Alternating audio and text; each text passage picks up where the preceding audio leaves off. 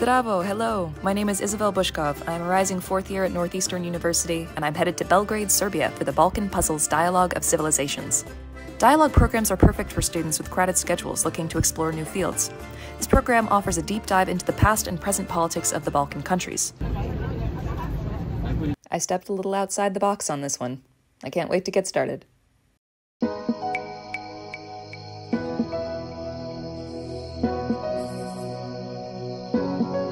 Our first day in country was spent adjusting to the time difference and looking for food, and eventually gelato.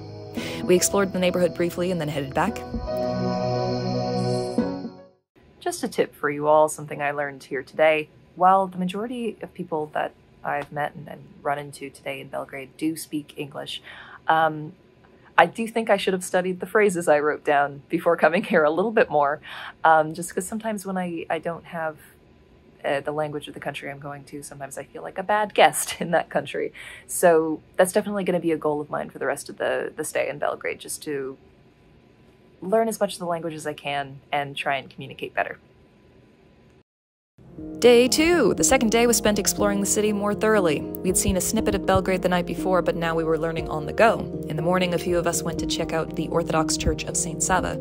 Sava is also the name of the river that runs through the northern part of Serbia, and being the patron saint of Serbia, St. Sava Day is a significant national holiday.